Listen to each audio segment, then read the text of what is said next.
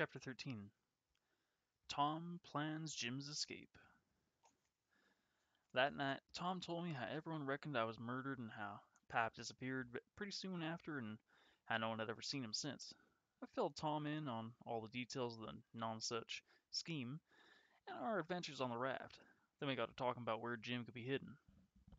Looky here, Huck. What fools we are not to think of it before, cried Tom. I bet I know where Jim is. But how could you? I asked.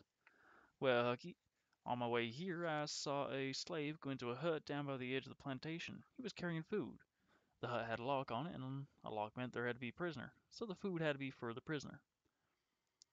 What a head for just a boy to have. If I had Tom Sawyer's head, I wouldn't trade it to be a duke or a mate on the steamboat or a clown in a circus.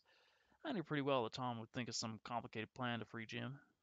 And sure enough, after a while, Tom said he wanted to think of a wonderful, mysterious way to get Jim out of the hut. Why not just saw a hole in the wall and let Jim slip on out? I suggested. But Tom only laughed. There has to be a more interesting way than that to get him out, he said. He thought for a while, then cried out, I have it. We'll dig a tunnel to get him out. It'll be a hard job, but at least it'll be more mysterious and more complicated than just sawing a hole. So we talked some more about Tom's plan, and then we decided that we had to go and see Jim. We waited for the slave who carried the food to the hut, then followed him. Tom gave him a dime, and he let us in to see Jim. Of course, we didn't tell him we knew Jim. We simply acted as though we were curious to see what a real runaway slave looked like. Jim was real happy to see us. He practically cried for joy, but before Jim could say a word, Tom leaned over and whispered, Don't ever let on that you know us, and if you hear any digging going on during the night, it's us. We're going to set you free. Jim grabbed both of us by the hands and squeezed real hard, so we knew how thankful he was. The next morning, Tom was upset about the plan. Blame it, he cried. The whole thing is just as easy as it can be. There's nothing wonderful or mysterious about it. It sure is difficult to think up a complicated plan.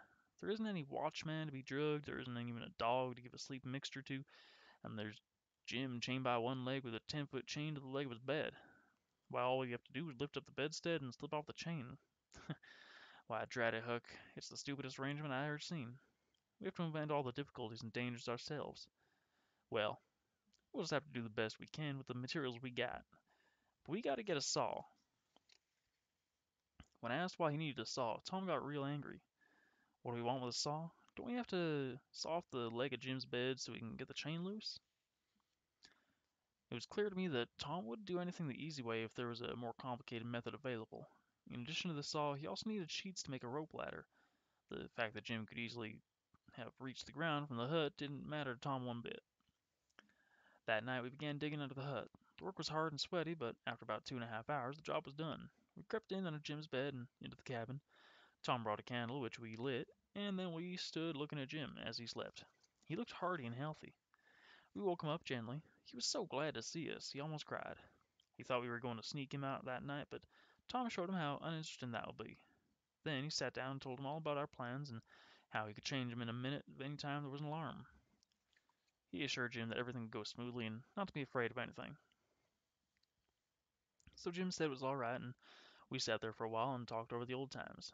Jim told us that Mr. and Mrs. Phelps came in to see him every day and that they were very kind and gave him plenty to eat.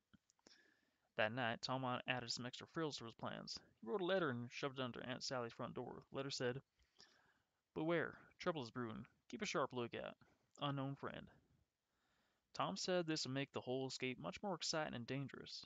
The next night, Tom drew a picture of a skull and crossbones and blood, and we stuck it on the front door and the next night he drew another one on the coffin and stuck it on the back door. Everyone was in a sweat. If a door banged, Aunt Sally jumped and cried, Ouch! If anything fell, she screamed. So the thing was working very well, Tom said. He never saw a thing work more satisfactory. Now he said it was time for the big move. So the very next morning at daybreak, we got another letter ready. But now, Mr. Phelps had guards all at the doors. Aunt Sally had gotten so frightened that she made her husband have a slave stand watch at each door, day and night. Tom waited until he saw one of the slaves fall asleep. Then he slipped the letter under the front mat. This letter was longer. It said, Don't betray me. I wish to be your friend. There's a desperate gang of cutthroats from over in the Indian Territory who are planning to steal the runaway slave tonight. They've been trying to scare you so that you will stay in the house. and do not bother them. I am one of the gang. But now I have gotten religion and want to do the right thing. They will sneak down from the north along the fence at midnight. They have a false key, and will go into the hut and steal the slave. Slip into the hut and lock them in. Don't do anything but what I have told you here. I only want to do the right thing. Unknown friend. Once the letter was hidden under the door mat, Tom quietly tiptoed back into the house and up to bed.